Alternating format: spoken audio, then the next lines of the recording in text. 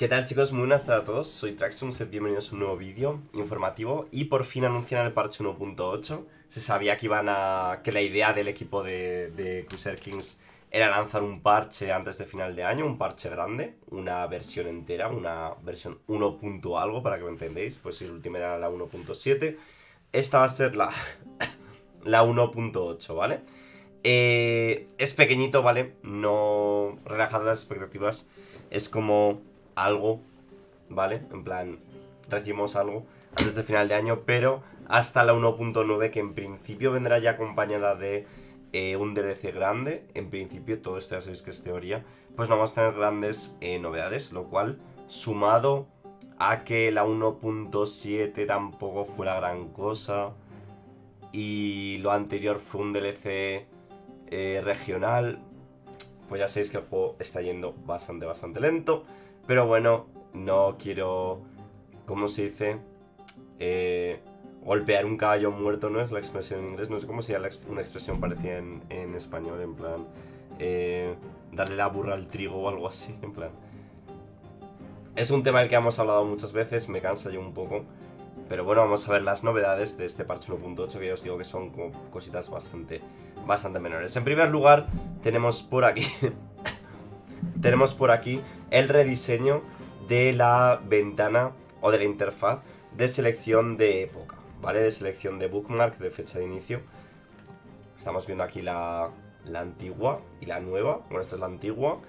Y esta es la nueva. Vemos que eh, las dos fechas, el 867 y el 1066, se han movido arriba. Y eh, las cuatro fechas de inicio aparecen aquí a la izquierda. ¿Vale? Eh, pues esto indica que las que vayan llegando en el futuro, que entiendo que sigan siendo las mismas fechas, pero eh, más adaptadas a los nuevos personajes, pues que vayan siendo el foco de los DLCs y del distinto contenido que vaya llegando al juego, pues va a aparecer aquí a la izquierda, ¿vale? Eh, ya no, ya será cuestión de acostumbrarse a esto. Esto es la noticia, esto es la novedad más tocha del parche 1.8, ¿vale, chicos? Que en principio dicen que se va a centrar mucho en corrección de bugs, así que bueno, eso que nos llevamos. Aquí vamos a observarlo más tranquilamente. Vale.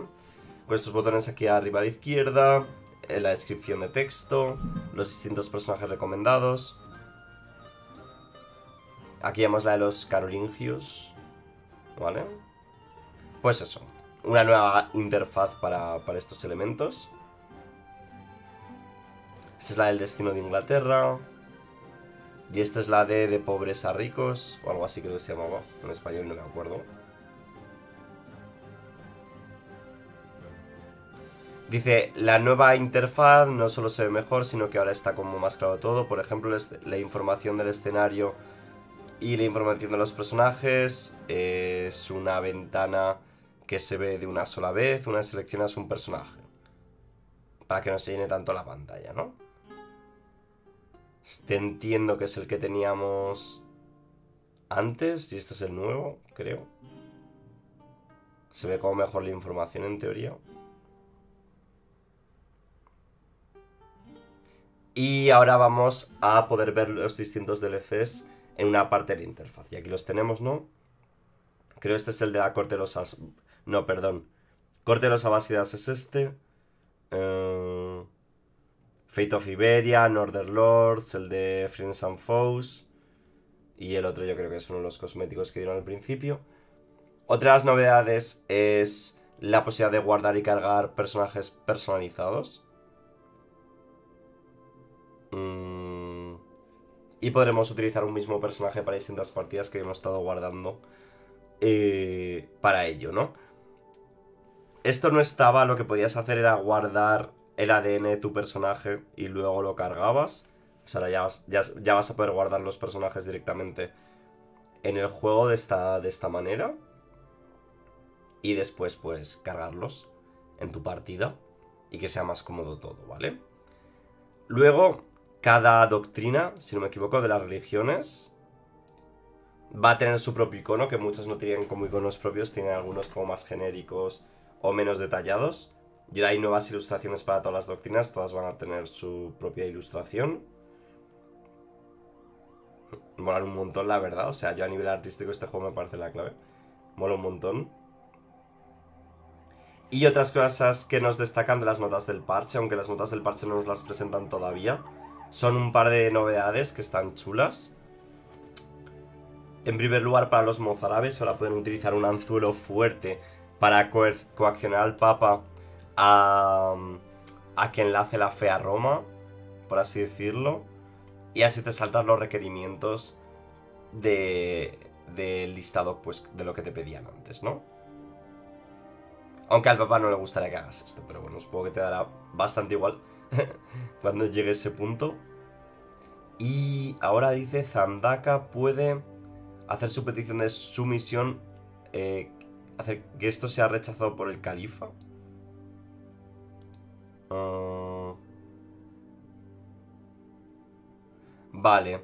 Pedir sumisión a un califa. Ahora mandar una carta dentro del juego en vez de consultar a la IA constantemente cuando se selecciona la, opción. Si disfrutas jugando como califa en un modo multijugador, eh, estate pendiente de decidir el destino de los jugadores de Zandaka para ti mismo, ¿no? Herederos del profeta Zandaka. Bueno, como que te hacías el cabeza de fe de esta gente, ¿no? Pues bueno, estas son las novedades, gente. no sé. A ver, por un lado tenía hype por esto, porque era como.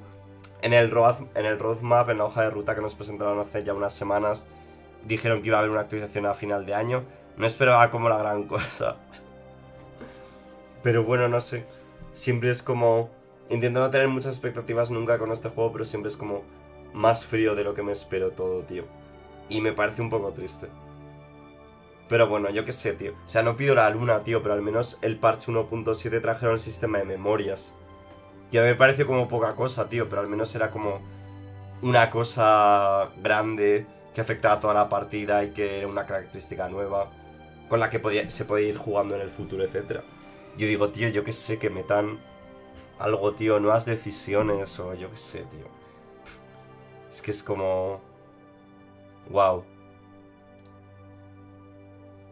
una nueva interfaz de las pantallas de inicio a la que le dedicas. Es que en plan, ¿por qué, sabes? no sé, tío. Son cosas, son cosas que no entiendo. ¿Por qué dedicarle recursos a esto, tío? ¿Sabes? En plan, ¿en qué momento? O sea, está, está genial que mejoren la interfaz. Totalmente de acuerdo, ¿vale? Pero ¿en qué momento es necesario esto? Rollo. Chicos, tenemos que rehacer la interfaz de, de inicio porque es muy importante. Eh, claramente necesitamos eh, trabajo aquí porque se ha quedado muy desactualizada. Tampoco, no sé, tío, os lo juro. No, no entiendo. No el desarrollo de este juego es algo que me, me es ajeno. Es el único desarrollo de un juego de Paradox que no, no comprendo, eh, os lo juro, tío. Pero bueno, no sé. No hay, nada más que comentar, literalmente, chicos. Así que no voy a rayarme más con este tema. Nos vemos en el siguiente vídeo, chicos. Chao, chao.